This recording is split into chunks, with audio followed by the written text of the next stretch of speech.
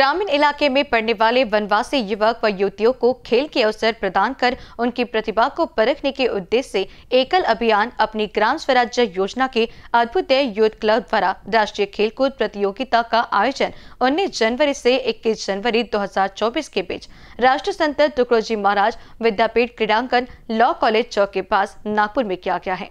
इस राष्ट्रीय खेलकूद प्रतियोगिता में 30 राज्यों के 1200 खिलाड़ी प्रतिभागी होंगे। ये जानकारी एकल अभियान के राष्ट्रीय संगठन प्रभारी माधवेंद्र सिंह ने पत्रकार परिषद में दी। 11 जनवरी को प्रेस क्लब में एकल अभियान द्वारा आयोजित राष्ट्रीय खेलकूद प्रतियोगिता की घोषणा के लिए पत्रकार परिषद का आयोजन किया गया था। इसमें एकल अभियान के राष्ट्रीय संगठन प्रभारी माधवेंद्र सिंह, एकल ग्राम संगठन की अध्यक्षा अरुणा पुरोहित, वन बंधु परिषद के अध्यक्ष दिलीप जाजू दीपाली गार्ड के सचिव एकल ग्राम संगठन प्रचार एवं प्रसार कमेटी के बागेश जी महाराज मोनल जी मल जी उपस्थित थे। प्रतियोगिता की शुरुआत 19 जनवरी को शाम पाँच बजे खेल ज्योति यात्रा से होगी। ये यात्रा रामनगर चौक से निकलकर राष्ट्र संत टुकड़ो जी महाराज विद्यापीठ क्रीडांगन लॉ कॉलेज चौक के पास समाप्त होगी। दूसरे दिन 20 जनवरी को शाम पाँच बजे प्रतियोगिता का उद्घाटन विष्णुदेव साजी, मुख्यमंत्री छत्तीसगढ़, इनके कर कमलों द्वारा होगा। विशिष्ट अतिथि के तौर पर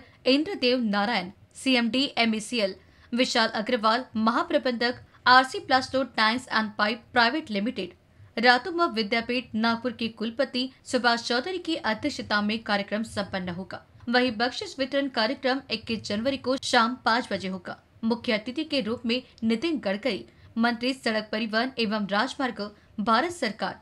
कार्यक्रम के अध्यक्ष सुधीर मुनगंटीवार, वन एवं सांस्कृतिक मंत्री, महाराष्ट्र राज्य तथा विशिष्ट अतिथि के रूप में नंदू सारडा, वन बंधु परिषद सलाहकार नागपुर, या मान्यवर उपस्थित रहेंगे।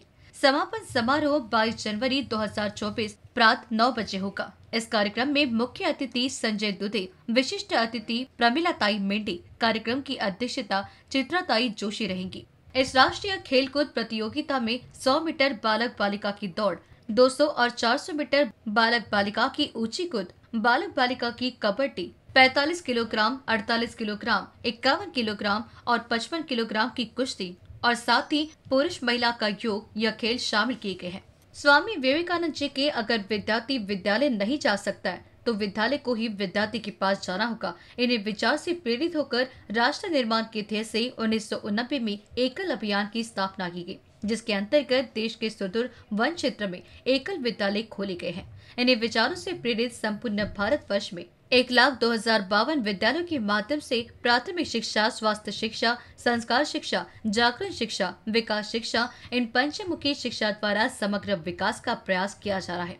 पत्र परिषद में रामभाऊ माताड़े संगठन मंत्री रेखाताई आमटे भाग सचिव एकल ग्राम संगठन के स्वप्ना कुलकर्णी सुप्रिया मांगरोकर दत्ता फडणवीस शुभदा तेलंग उपस्थित थे।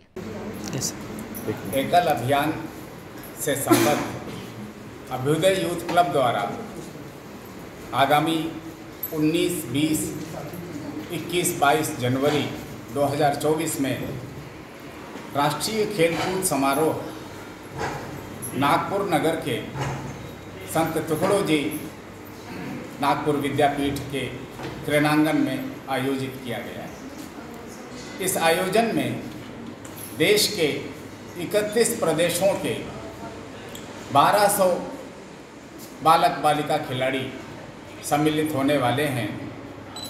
इन खिलाड़ियों की जो बड़ी विशेषता है, वो यह है कि ये भारत के वनवासी गाँवों के निवासी हैं। सुदूर ग्रामीण क्षेत्र से चलकर और पाँच स्तर की प्रतिस्पर्धा को पार करते हुए 19 जनवरी को नागपुर पहुँचने वाले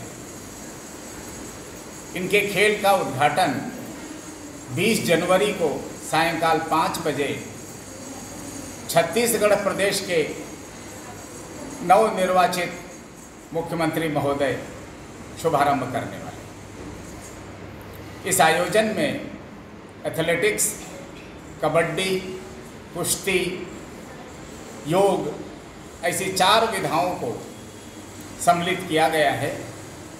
अलग अलग विधा में ये खिलाड़ी सम्मिलित होकर अपना भाग्य आजमाएँगे और संगठन इस माध्यम से इनको देश की मुख्य धारा से जोड़ने का प्रयत्न करेंगे। कैमरा पर्सन अजित कुंवर के साथ क्षितिजा देशमुख की रिपोर्ट।